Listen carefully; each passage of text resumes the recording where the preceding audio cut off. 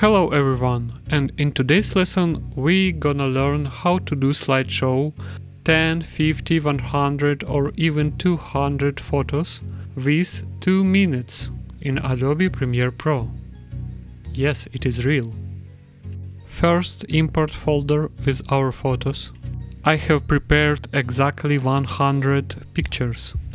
Open this folder, select one photo and press Ctrl A or Command A on Mac to choose all photos. Then press three lines icon and choose Automate to Sequence and press OK. Now we have all photos on our timeline and we have smooth transition between them. But you can see that my photo is much more scale up. We need to choose all photos, right click on any photo and choose scale to frame size. Excellent! Now we can see all the photos. Now we need to duplicate those photos. We already chose all of them, so press Alt or Option key on Mac and drag it to the higher layer. Now select first bottom photo and now we need to zoom in our scale for about 300%. Now we need to find blur effect Drag Gaussian blur to the first bottom picture. Set blurriness to 40. We can see our background photo is upscaled and blurred.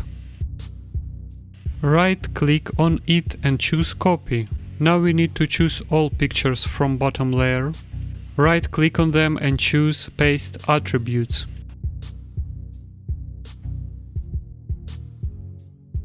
Now we can see that all photos have blurred background.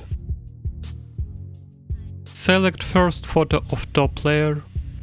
Click on scale timer icon to create keyframe. Drag playhead to the right and set scale to 115. Drag first keyframe maximum to the left and right keyframe maximum to the right. Now press right click on first top photo and choose copy.